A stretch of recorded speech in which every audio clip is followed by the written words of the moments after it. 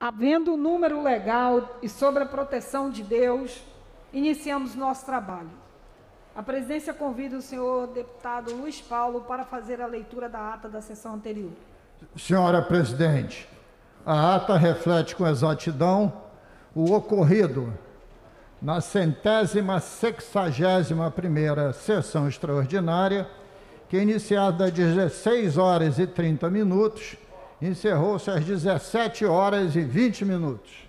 Lida e aprovada a ata, passa-se ao expediente inicial. O primeiro orador inscrito é o nobre deputado Luiz Paulo. Vossa Excelência dispõe de 10 minutos no tempo regimental.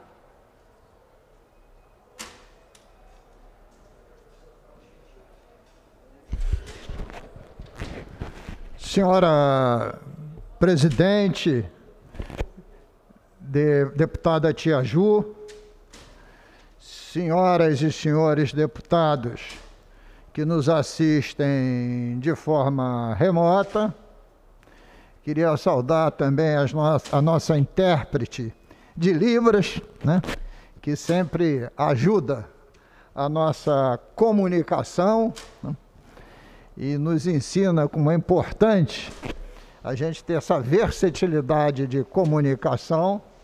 Então, queria cumprimentar a todos e a todas. Senhora Presidente, breves palavras. Ontem, o Procurador da República, Augusto Aras, foi submetido a a oitiva na Comissão de Constituição e Justiça do Senado e depois foi deliberado sobre a sua recondução ao posto de Procurador-Geral da República. Até aí, uma notícia absolutamente normal. Ocorre que, por conveniência, ontem os opostos estiveram unidos em cima de acabar de vez com a Operação Lava Jato. Bolsonaristas e lulistas votaram no sentido da recondução do mesmo. Dias após que verificamos que o presidente, ex-presidente Lula tinha dito que se ele se tornar presidente, ele querá, quererá um Ministério Público independente, que seja escolhido através da lista tríplice. Eu também quero, sou um defensor intransigente disso. Ocorre, quando chegou na hora do PT votar, no, no dia de ontem, votou pela recondução do procurador Rodrigo Aras, que nem na primeira nem segunda recondução veio pela lista tríplice. Então, quando o objetivo é comum, a desqualificação da Lava Jato, os lulistas e os bolsonaristas votaram juntinhos, juntinhos. Aliás, já tinha isso acontecido, também englobando outros partidos políticos, quando da votação do fundão, quando da votação do retorno da coligação proporcional. Mas a de ontem chamou mais atenção ainda. Então, senhora presidente, eu queria deixar aqui esse registro. Eu tenho às 14 horas que participar de uma reunião remota, não vou me estender, porque verifico também que chegou aqui em plenário o deputado Márcio Galberto. E se chegou em plenário é porque ele deseja fazer uso da palavra. E tema não falta, principalmente aqui no estado do Rio de Janeiro, que dia sim, quiçá outro também, tem fatos acontecendo nas páginas policiais. Então, retornarei com mais tranquilidade, senhora presidente, no expediente final. Muito obrigado, secretário.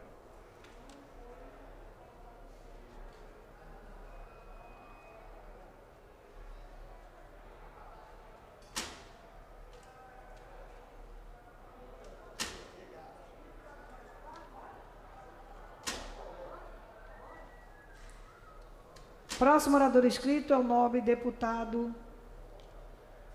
Márcio Glauberto. A excelência dispõe de 10 minutos do tempo regimental.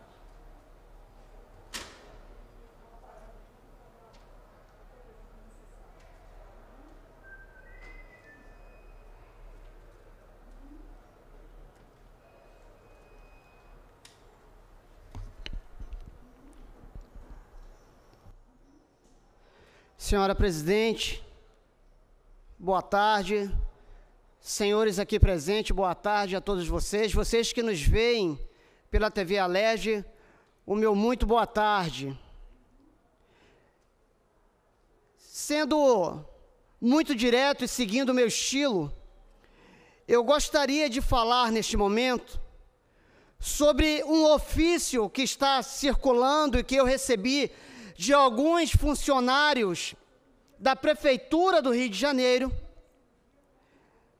ofício este da Superintendência de Atenção Primária, e que, em tese, teria sido assinado pelo senhor Renato Cone Seródio, Superintendente de Atenção Primária. Esse documento, então, chegou às minhas mãos, está circulando pelas redes sociais e, de certa maneira, tem deixado muitos pais apreensivos, e eu, como pai, não poderia estar com um sentimento diferente de uma grande apreensão. Por quê? O que, que esse documento diz? E eu já oficiei a Prefeitura do Rio para que informe a este deputado se esse documento é de fato verdadeiro ou não. Por que isso? Esse documento, então, ele versa sobre a vacinação dos adolescentes no município do Rio de Janeiro, com data de 23 de agosto. E diz o seguinte: considerando a nota técnica tal, considerando a Constituição Federal, considerando a agenda proteger e cuidar dos adolescentes. Atenção agora. Eu me recuso a acreditar que este documento seja um documento oficial de um órgão ligado à Prefeitura do Rio de Janeiro. Mas, ao mesmo tempo em que eu me recuso a acreditar, eu também não duvidaria tendo em vista as atitudes tirânicas, despóticas, ditatoriais que têm sido tomadas pelo atual prefeito Eduardo Paes, e eu vou chegar no decreto dele. Mas antes de chegar no decreto, eu preciso falar sobre este ofício. Ouçam o que diz a partir de agora este documento. Esta superintendência recomenda às equipes e profissionais de saúde sempre encorajar o adolescente a envolver a família no acompanhamento dos seus problemas. Atenção, pais, agora, hein? Já que os pais ou responsáveis têm a obrigação legal de proteção e orientação de seus filhos ou tutelados. Entretanto, esta superintendência orienta que os adolescentes a partir de 12 até 18 anos incompletos que buscarem a vacina contra a Covid-19 devem recebê-la, independente da presença dos seus responsáveis. A prefeitura, por meio da superintendência, Tia Ju, está dizendo que os pais ou responsáveis não servem para nada. Que uma criança de 12 anos pode chegar numa clínica, num hospital, num posto, e tomar a vacina, mesmo que os pais não estejam sabendo. E se essa criança tiver um problema ali? E se essa criança tiver, por exemplo, uma reação alérgica, quem se responsabiliza por isso? Não vai ser o prefeito. Que o prefeito, ele gosta de tirar o corpo fora. O prefeito, quando a água bate nas nádegas, ele diz que não é com ele, que ele não sabe de nada, que ele não viu, que ele não ouviu. Mas não para por aí não, tia Ju. Esse documento, antes de chegar nesse absurdo, porque isso é comunismo, né? No comunismo, as crianças pertencem ao Estado. As crianças não pertencem aos pais irresponsáveis. O Eduardo Paes, se esse documento for verdadeiro, ele está, olha só, você que votou no Eduardo Paes, ele está cometendo estelionato eleitoral. Porque se esse documento for verdadeiro, você votou em alguém achando que era democrata e está acordando hoje com o ditador comunista na prefeitura. Mas, atenção, antes de chegar nesse absurdo, o documento diz o seguinte: considerando a agenda proteger e cuidar dos adolescentes, que prevê que em toda a atenção à saúde de adolescente deve ser levada em consideração os fundamentos da ética, privacidade, confidencialidade e sigilo, reconhecendo reconhecendo os adolescentes na faixa etária de 10 a 17 anos de idade como sujeitos capazes de tomarem decisões de forma responsável. Uma criança de 10 anos, segundo o documento, é capaz de tomar uma decisão responsável, mas isso tem um grande problema, um perigo. Isso pode servir para fundamentar atitudes criminosas de adultos. Porque quando você diz que uma criança de 10 anos é capaz de tomar, de ter atitudes responsáveis, e não diz quais são, você está deixando uma brecha. Amanhã ou depois, o estuprador, ao abusar de uma criança de 10 anos, ele vai dizer que ela consentiu naquilo. Amanhã o pedófilo vai usar essa mesma desculpa. Que documento é esse, Eduardo? Eu espero sinceramente, eu espero sinceramente, que esse documento que me foi encaminhado, esse ofício, da Superintendência de Atenção Primária, eu espero sinceramente que não seja verdadeiro. Apesar de ter, sido enviado a mim por funcionários da própria prefeitura, eu espero que não seja verdadeiro isso. Porque isso aqui é um perigo mas também dá margem para mais uma interpelação.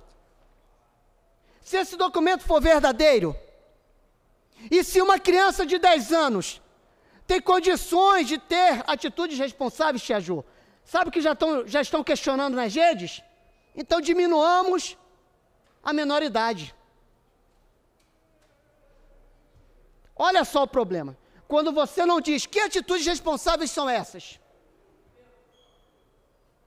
serve para tomar vacina sem o conhecimento dos pais. Então, estão questionando o seguinte: quer dizer que um jovem de 14 anos ele tem consciência de algumas coisas, mas se ele comete um crime, ele não tem consciência.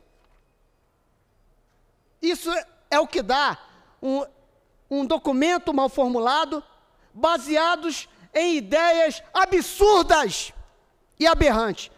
Mas não para por aí. Vocês já estão cientes.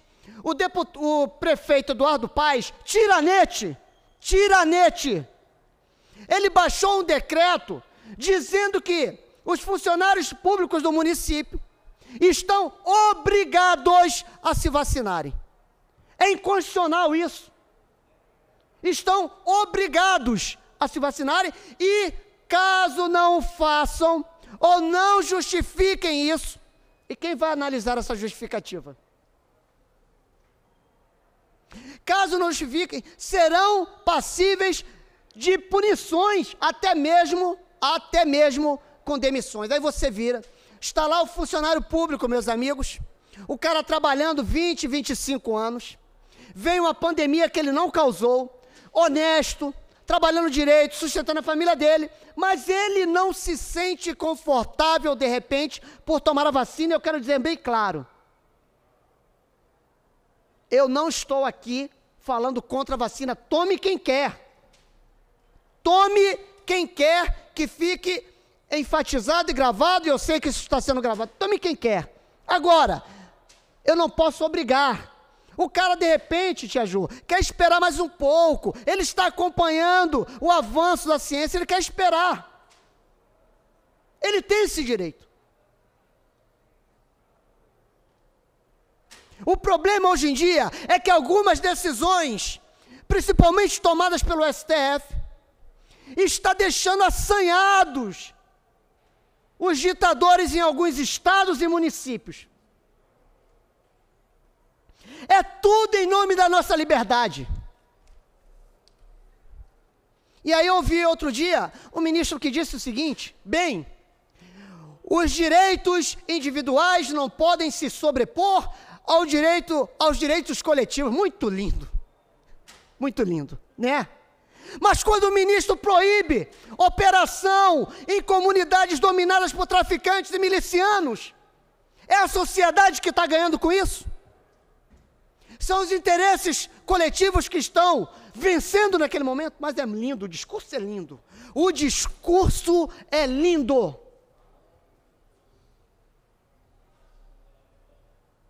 mas é tudo em nome da democracia. E isso fere de morte, essas decisões ferem de morte, Tia Ju, o princípio da não contradição. Duas afirmações contraditórias não podem ser verdadeiras ao mesmo tempo e sob o mesmo aspecto. É o princípio da não contradição, e o princípio da não contradição está sendo ferida de morte todos os dias nesse país, lamentavelmente. Mas é para o nosso bem. No campo científico, você tem que incentivar o debate. Ninguém pode ser silenciado pela força num debate. Ninguém pode ser silenciado pela força, mas é isso que tem acontecido nesse país. Quem pensa de forma contrária tem sido silenciado pela força. E quem tá, está sofrendo isso são conservadores, são cristãos, estão sendo silenciados pela força e não pela, por argumentos verdadeiros. Num debate, você tem o direito de silenciar alguém pela força dos teus argumentos, mas não pela força bruta, pela violência, muito menos jurídica e muito menos daqueles que deveriam guardar a Constituição, muito menos esses. É um absurdo completo. E agora nós estamos tendo que lidar com isso aqui no Rio de Janeiro, na capital. Não temos um dia de paz aqui. É a escalada do autoritarismo, Tia Ju. Ninguém mais pode se expressar da sua opinião sem que a patrulha ideológica o censure, o cancele, tire das redes sociais. Ou melhor, ninguém não, né? Perdoe-me. Não é admissível generalizações. Somente quem não pode falar somos nós conservadores. Nós não podemos falar. Nós católicos não podemos falar. Nós cristãos não podemos falar. Mas todo mundo pode chamar o presidente de genocida, fascista, nazista, está tudo liberado. Aliás, eu me lembrei agora. Um deputado desta casa, entrou com uma representação no Ministério Público Federal contra o jornalista Alan dos Santos do Terça Livre, porque ele disse não às pessoas. Ele disse que as entidades que estavam sendo invocadas no encontro em que o Lula participou entregaram para ele uma imagem de Zé Pilintra e o Alan dos Santos disse que aquelas entidades e não a pessoa que estava entregando, que aquilo eram demônios. Representação no Ministério Público Federal.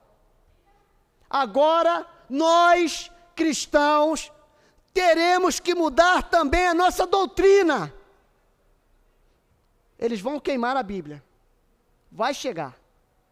Se não houver uma intervenção divina, com participação humana, eles vão chegar esse, e não estou falando de ilegalidade. É bom eu deixar esse claro, porque ah, está lá, está lá é, é, incentivando atos antidemocráticos. Não estou incentivando nenhum ato antidemocrático. Mas se continuar o que nós estamos vendo, e está tudo de pernas para o ar, não vai demorar. Como que pode eu não ter o direito de eu falar doutrinalmente sobre aquilo? Está sendo processado, é assim. Eu espero que em algum momento o judiciário, que eu respeito e que na sua maioria esmagadora é feito de pessoas honestas, o Ministério Público, que eles possam enxergar que, infelizmente, tem pessoas querendo usá-los de maneira indevida para sustentar posições políticas, partidárias e ideológicas. Eu preciso ter o direito de cuidar da minha vida e de me manifestar como eu quero. Aliás, também, até hoje, a Comissão de Assuntos Religiosos não se manifestou sobre um programa do Porta dos Fundos, caçoando de Jesus, caçoando dos apóstolos, caçoando de Maria Santíssima, até hoje. Dois anos eu estou aguardando esse posicionamento. Dois anos aguardando o posicionamento. Dois. Nesse período eles já se manifestaram sobre outras coisas. Aqui nesse plenário não, mas no outro. Quando traficantes começaram a quebrar terreiros lá na Ilha do Governador, se eu não me engano, no Morro do Dendê, eu não me lembro. Mas eu peguei o microfone e apesar de discordar doutrinalmente do Espiritismo, independente da sua linha, independente,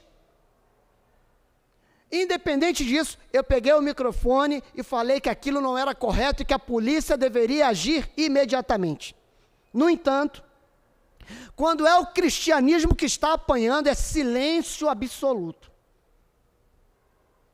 Aí pode. Nós estamos sendo caçados, silenciados e tendo que lidar com atitudes arbitrárias, repito, desses tiranetes. Eu não vou me calar, não. Quanto ao decreto do prefeito, eu vou acionar o judiciário. Isso não era nem tema para político adentrar, tínhamos que deixar a comunidade científica, prós e contras, debaterem para valer com profundidade.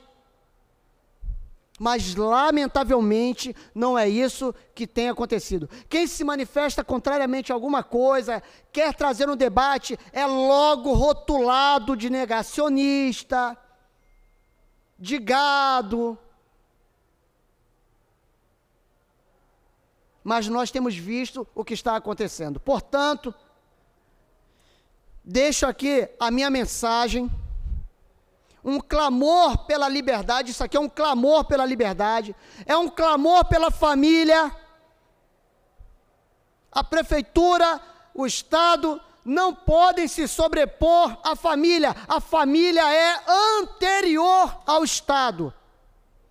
O Estado deve ser uma replicação do, daquilo que acontece nos nossos lares, nas nossas famílias, Chajô. Para concluir, deputado. Para concluir, que nós lutemos legal e democraticamente contra esses tiranetes e que clamemos nessa luta pelo poder e pela intervenção da Santíssima Trindade, Pai, Filho e Espírito Santo, e também de Maria Santíssima, dos santos e dos anjos.